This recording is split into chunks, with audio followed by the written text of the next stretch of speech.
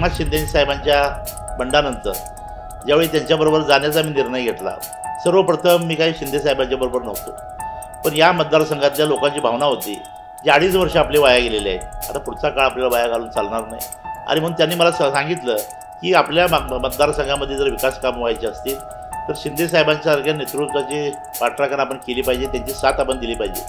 इथल्या मतदारांचा प्रमुख लोकांचा मला ज्यांनी निवडून आणलं त्यांचा मी आदेश मानला. म्हणजे आदरणीय शिंदे साहेबांच्या बरोबर मी शिवसेनेमध्ये काम करत हे भगवे आमचे रक्त तळपतो तप्त हिंदवी बाणा